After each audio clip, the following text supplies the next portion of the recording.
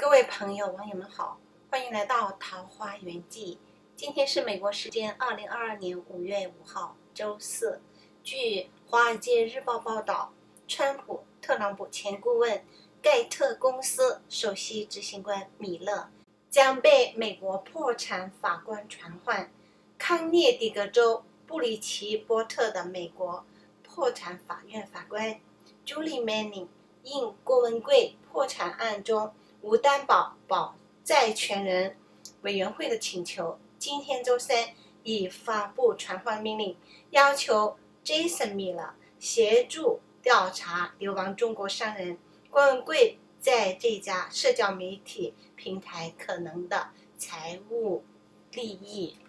有多家媒体报道过郭文贵参与盖特业务，有些报道称郭文贵是盖特的财务支持者，所以无担保债权人委员会认为应该调查郭文贵与盖特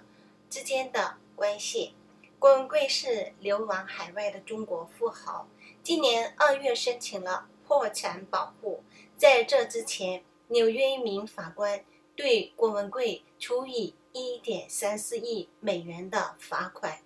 因为郭文贵把一艘名为 “Lady May” 豪华游艇置于债权人所在的司法辖区之外。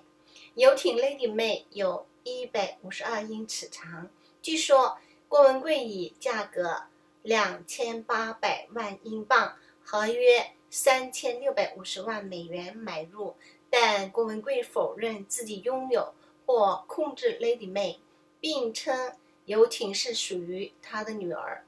郭文贵的最大债权人泰蒙亚洲机会基金在纽约因债务纠纷起诉郭文贵，双方官司已经打了几年。法院要求郭文贵将 Lady May 游艇开回纽约，但九个月以来，郭文贵并未执行这项命令。好了，这次就和朋友们、网友们聊到这里，我们下次见。